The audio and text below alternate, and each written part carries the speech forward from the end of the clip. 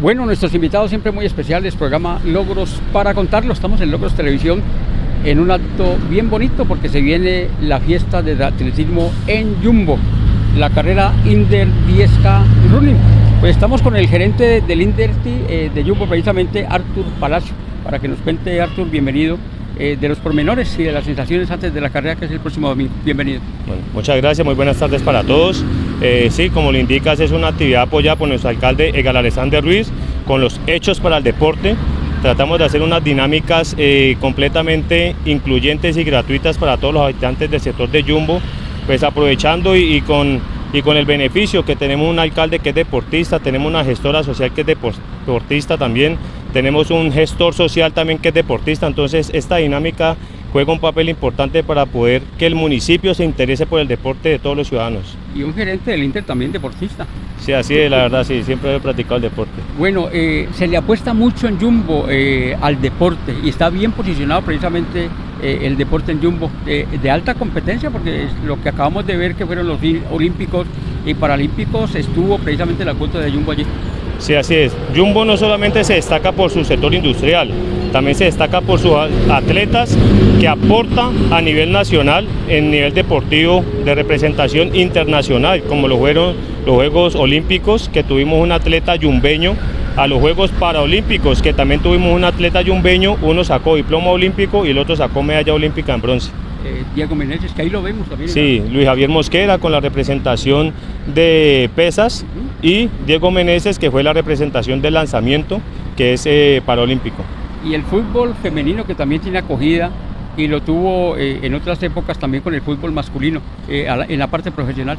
Sí, la verdad contamos con Jumbo FC, es un equipo deportivo formado por 80 mujeres cabeza de familia, eh, la administración les ayuda sus entrenamientos, les ayuda en todo lo que necesitan para proyectarse al nivel profesional futbolístico. Venimos de ganar de manera consecutiva unas copas telepacíficos. La, verdad, estas mujeres son, eh, les dicen a chicas superpoderosas porque normalmente todos los partidos los ganan por diferencias muy representativas. Bueno, eh, metamos ya un poco, Arthur, en la 10K del próximo domingo. Por menores de la 10K, ¿cuántos inscritos están abiertas todavía? Eh, ¿Y quiénes vienen internacionalmente o nacionalmente consagrados ya en esto del atletismo? Eh, sí, señor. La carrera 10K va a ser una carrera incluyente, va a ser una carrera que va a acoger tanto a familias, eh, a personas que lo hacen por hobby, como también atletas de alto rendimiento. Se hicieron una inscripción de 2.000 personas completamente gratuita. El único aporte que les pedía era que llevaran el día de la carrera alimento para perrito o alimento para canino, para poder ayudar a esos animalitos pues, que no tienen quien, quien los ayude. Es una carrera que va desde el norte de Jumbo hasta el sur de Jumbo, cogiendo prácticamente la mayoría de comunas del sector yumbeño, vinculando y dinamizando pues con esto la economía del sector, apoyando pues los emprendimientos y el informalismo laboral pues que, que ha tenido un, un impacto negativo, entonces con esto va a fortalecer de pronto las familias que dependen de un sustento.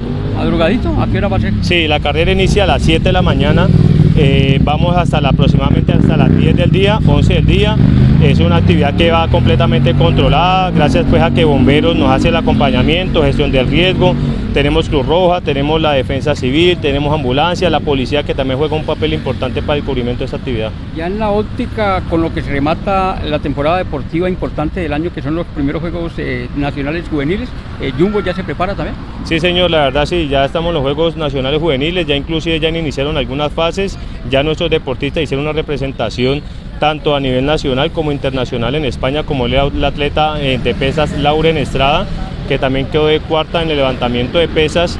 Y, pues Jumbo sigue aportándole muchos deportistas a la Liga Vallecaucana de Pesas. En estos momentos de los clasificados para los Juegos Nacionales de la Juventud eh, fueron aproximadamente seis deportistas yumbeños. Qué bueno, pues Artur nos alegró saludarlo, eh, conversar un ratico con usted y auguramos muchos éxitos el próximo domingo en, en la carrera. Muy amable.